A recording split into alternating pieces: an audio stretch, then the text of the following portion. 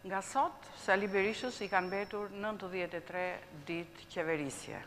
Janë nëntëdhjetë e tre ditë e qeverisjes tetëvjeçare të tij që dështoi të zhdukë varfërinë, që dështoi të luftojë korrupsionin dhe krimin, që dështoi të vendosë rendin dhe ligjin dhe mbi të gjitha janë Dështimet e kësaj qeverie që provojnë sjelljen më të fundit me mediat. Sali Berisha si askund tjetër në Europë përveç Bjellorusisë ka dështuar të respektojë lirinë e medias. Sulmi i fundit ndaj Top Channel-it është treguesi më i qartë se Sali Berisha që tetë vjet më parë erdhi në pushtet me sloganin se ishte një dashnor i medias së lirë, po e mbyll karrierën e tij politike pas nëntëdhjetë e tre ditësh duke u përpjekur të mbysë çdo zë kritik që vjen nga mediat e lira. Pasi dështoi në mënyrë të përsëritur që t'i mbyll gojën me presione mafioze, pasi dështoi në mënyrë të përsëritur që ta detyronte Top Channel-in të hiqte dorë nga misioni i tij si një media e lirë dhe profesionale, kohët e fundit ka përdorur gjykatën si mashë për ta nxjerrë Top Channel-in nga mjediset e Shqipëria Sot, duke shkelur në mënyrë flagrante një kontratë të rregullt që ky televizion ka me shtetin shqiptar. Nxjerrja e Top Channel-it nga mjediset e Shqipëria Sot, duke shkelur, e përsëris edhe një herë, në mënyrë flagrante, kontratën e firmuar me shtetin shqiptar, është kulmimi i një aksioni politik, të gjatë të përdorur nga Sali Berisha për të goditur mediat e lira në vend. Kujtoj se që nga viti i dytë i tetëvjeçarit të qeverisjes së Sali Berishës, Top Channel-it iu vu një gjobë prej trembëdhjetë milion eurosh dhe këtë e kujtojnë besoj të gjithë shqiptarët, Nuk ishte një gjobë që mbështetej në fakte, por ishte një presion. Dhe të gjithë ne e dimë që ishte një presion politik, do thosha mafioz, mbi një media të lirë dhe të pavarur. E ka bërë këtë edhe me media të tjera. E ka bërë me News njëzet e katër, kur ajo transmetoi spote të cilat nuk i vinin për shtat pushtetit.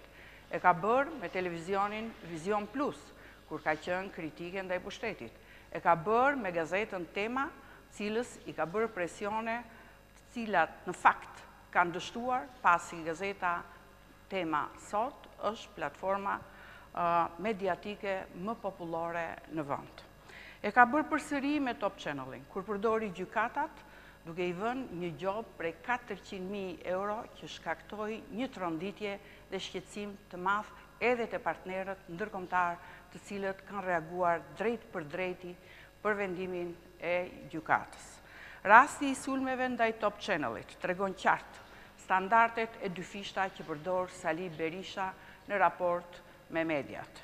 Ndërkohë që për Top Channel-in jep vendime skandaloze nga gjykatat e përdorura prej tij, për media pranë pushtetit krijon favore, duke u dhënë hapësira edhe në kundërshtim me kërkesat e pronarëve apo shuma kolosale për spote qeveritare.